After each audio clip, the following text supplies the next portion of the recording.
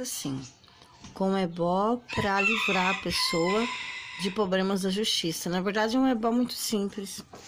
Você, em um pedaço de tecido branco, vai passar esse tecido branco sobre a pessoa que está com o problema, vai escrever o nome da pessoa sete vezes em um papel a lápis e vai fazer uma trouxinha.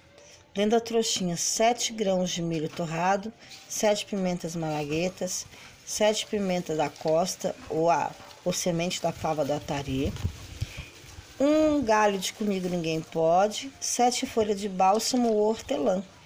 Coloca-se dentro do assentamento de Oxóssi até que o problema seja resolvido.